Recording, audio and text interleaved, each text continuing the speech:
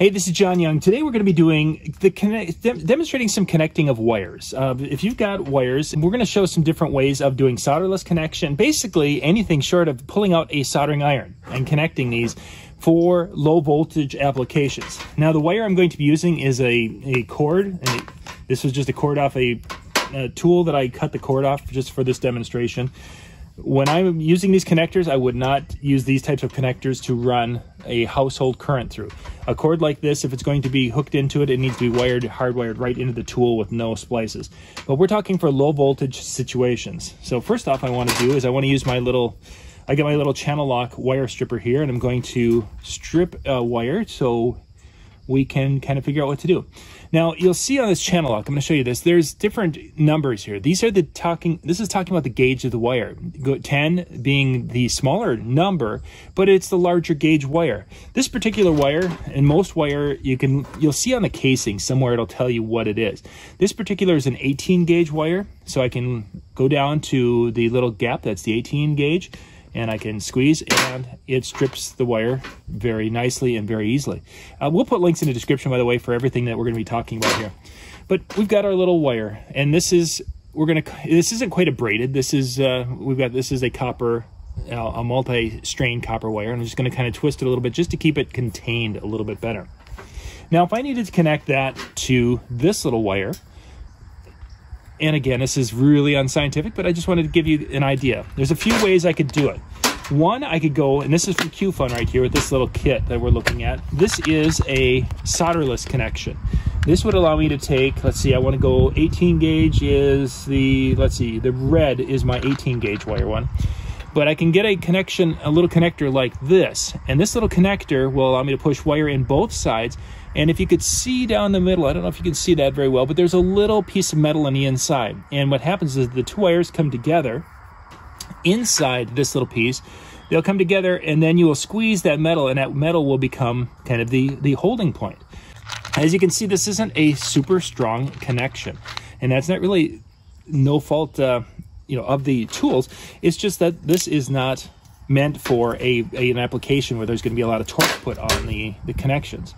If you're going to have a lot of torque on it, you need to do something where you're you're going to be using more of a soldering connection. Okay, so there we go. The one side is, is crimped in the end. The wire needs to come out the side of it. And I wasn't paying attention to it that much. So the wire needs to be coming out on the left side of this tool, like so. And then it will crimp them in the middle. So now we have our connection made. And again, it's it's it's connected and it's there. So if I were running some extra lights for my ATV, this would be an option, especially if it's out of if it's concealed and it's out of water. Yeah, that's pretty good. That one's pretty good. Uh, much better than I thought it was going to be. I thought it might be able to pull it apart easier than that. So that's that's how you would work. And again, with the crimping tool, you've got to have the wire on this side so that because it crimps on this side, it crimps on the right side of it as you go you go forward. So that's one way to connect this wire.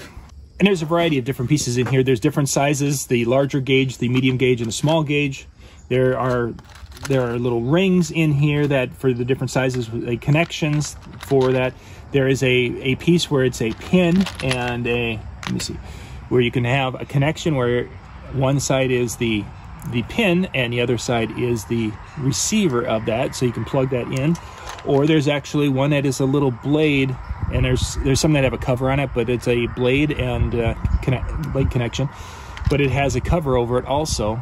There's some of those that have that cover so that you can make that connection and it's fairly well protected so I've got my two wires stripped and I want to connect these but I want to connect maybe just a little bit more uh, let's, let's say watertight for lack of a better way to describe it than what our, our solderless connection this is kind of a cool little thing this is a solder seal connection kit and it has these little tubes in here. Uh, different size, the different colors are for different sizes. But what these little tubes are, are heat shrink tubing that have these little red spots that will melt in to melt the heat shrink tubing to the wire casing. And in, in the middle, you see there's a little kind of solder ring there. That's what will give us the ability to solder these two wires together. So I'll grab another one because I threw that one on the ground what you do is you start by sliding the two wires in there, and you want to try to get those two wires into that middle, in that, uh, that solder area. So we're just going to get these two pushed in there and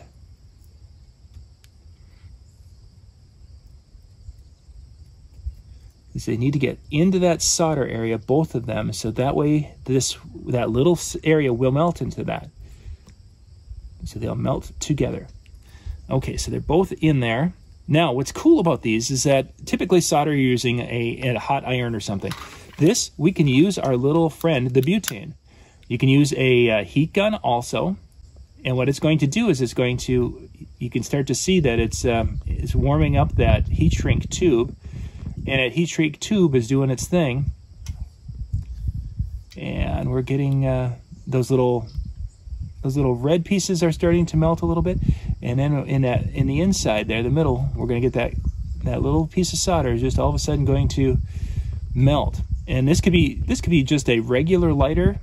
It doesn't have to be anything too truthfully, you could do this with candle. If you had a candle, you could uh, do this because we're just warming it up and it's getting that tubing to seal nicely. And now I can start to see that that center, that center uh, piece of solder is starting to melt.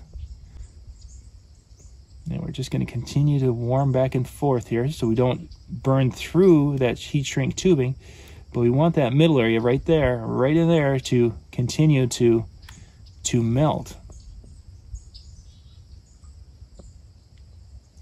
and get that solder to kind of flow into those two and connect those two wires.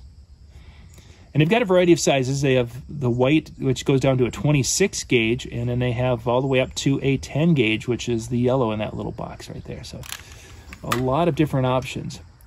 It looks like that, that the solder has melted into those two wires. So we're going to let it sit here so that that solder can cool. But it sealed up. You can see that the red is melted into the, the wire and it um, into the heat shrink tube. So it should be all watertight when we're done with that. That's one, one option. Another option is another little clip where you can lay two wires in that you want to connect where the two wires are not, you don't have the ends of the wire, maybe in the middle. A, little connection like this. This is something that you would occasionally use if you were going to be running a wire to a remote spot and you want to tap that spot for electric and you don't want to cut the wire and have to splice it. You can put in your first wire, you can put in your second wire, you put them in there and you clamp and boom, you go down with that. I had to use this on an ATV where I was running electric up into for a windshield wiper, and then I needed to run a light. I wanted to do a dome light, and it needed to be that. So I could, was able to use this. I put this on, clipped it on the existing power lead, and then I put my power lead going to the dome light in here. And I think about this would be the existing power lead and this would be the dome light wire and then I was able to clamp them together and there's two little if you take a look at that you can see that there's a little bit of a gap there the two wires fit in there they kind of cuts through the insulation and makes the connection between the two wires and again this kit has a variety of different sizes in that also let's get back to our wire here that we just did they soldered together and they are not going anywhere now I pulled the end off that one but the soldered connection is all melted together and it's very, very strong. So there's a variety of different ways that you can connect the the copper wire. Uh, these would not work very well with a solid a solid copper copper that's used in house household electric. This is the best for low voltage stuff. It's not meant uh, to really be used safely for high voltage.